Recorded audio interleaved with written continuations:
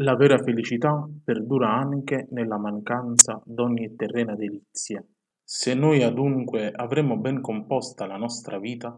avremo pure a godere una dolce, tranquilla, perpetua giocondità,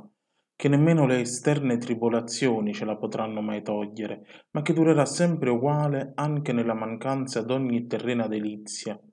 poiché non sono già le cose fuori di noi, o prospere o avverse, che ci consolino e ci affliggano, ma bensì le interne disposizioni dell'animo. È come chi ha il suo corpo infermo o febbricitante, o riposi in molli letti, o segga in troni gemmati, o passeggi per ameni giardini, o sieda a laute mense fra musiche soavi, non ne coglie diletto, ma tristezza, laddove chi è sano di corpo anche sul duro strame dorme con giocondità,